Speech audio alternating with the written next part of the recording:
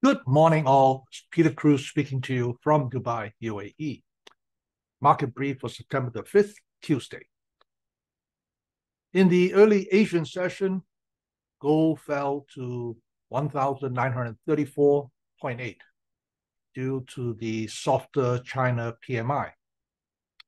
This was the low seen on Friday in the US market before closing at the 1,940 level. Now, markets are back to full swing today after the US holiday yesterday. Personally, I think the US dollar is running out of steam and should see the gold and currency versus the dollar starts to climb again. Now, on the economic calendar, we have the Eurozone PPI and the US factory orders. Also, there are several reports from the Feds indicating that the September FOMC will likely leave interest rates unchanged. Okay, that's about all I have for you this Tuesday.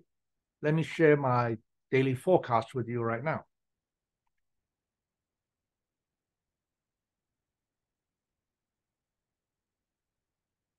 Right, here we are, forecast for September the 5th.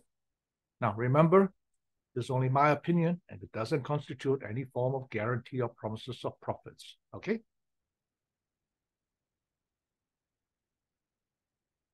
Well, seeing that the dollar is running out of steam, therefore buying the euro dollar at 1.0780 would be a good buy, provided we have a stop at 1.07. Okay. British pound, the same thing. Buying the British pound at 1.26 or better would be a good buy with a stop at 1.2520. The Japanese yen also selling the dollar yen at 146.70 is a very good sell dollar yen level, okay, with a stop at 147.50, okay. Crude oil, well, it's been rising slowly every day, you know, so now buying the crude at 84.50 or better is a good buy with a stop at 83, targeting $87 a barrel.